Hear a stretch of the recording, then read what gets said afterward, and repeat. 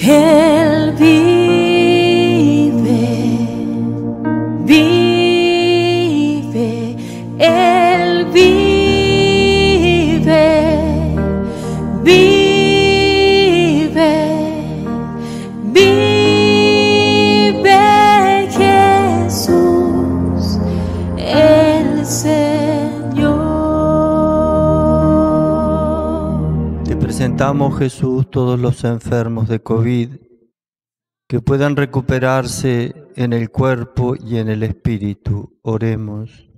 Que tu amor los consuele. Te presentamos, Jesús, las familias que tienen algún enfermo grave y aquellas que han perdido algún ser querido por esta enfermedad, a las madres embarazadas que están con COVID, por sus hijos y por ellas, sus familiares, oremos.